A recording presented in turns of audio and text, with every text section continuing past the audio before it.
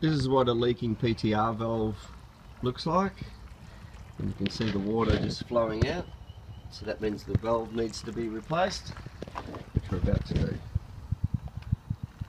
This one's an Aquamax hot water, but same for Rheem, Dux, Hardy Dux.